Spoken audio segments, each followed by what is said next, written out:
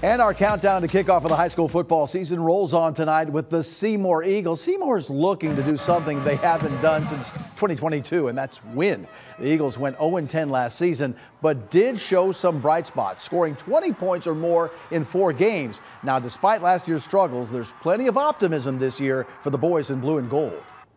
Obviously, after last season, for the kids to buy in, they have to really trust what we're doing, and they and they have. Um, but you have to build a foundation. If we're constantly scrambling and winging things and just trying to sell our soul for a win, yeah. it's not productive for the long haul. We just got something to prove from last year, and I know that we will prove something. It's the most important thing for me. You know, I can't wait to prove people wrong. That's that's the biggest motivator for me is changing last year. I just can't wait to. I just can't wait to do it. I, I'm so ready for it.